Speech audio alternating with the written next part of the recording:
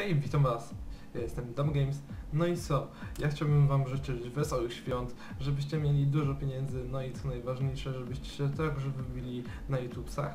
E, co? Co by tutaj dalej życzyć?